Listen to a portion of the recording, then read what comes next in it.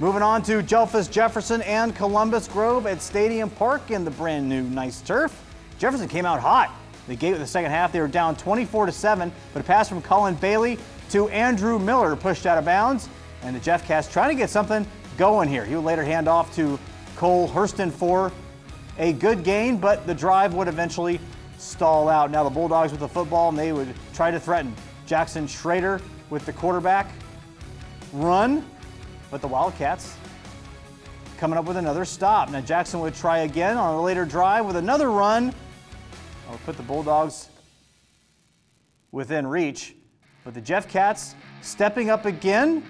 Cody Bailey reaching in for an interception in the end zone to keep the Bulldogs off the board.